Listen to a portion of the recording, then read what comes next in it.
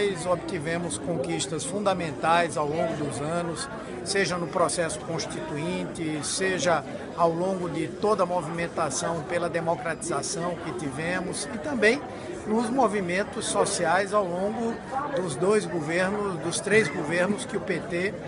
tem é, realizado à frente da presidência da República. E vejo hoje muitas dessas conquistas ameaçadas exatamente por conta é, de uma composição conservadora existente hoje no Congresso Nacional. Mas, com certeza, a sociedade organizada, mobilizada, ela garante que não só essas conquistas não sejam perdidas, como outras conquistas possam ser obtidas. O pré-sal é uma riqueza do povo brasileiro, da nação brasileira,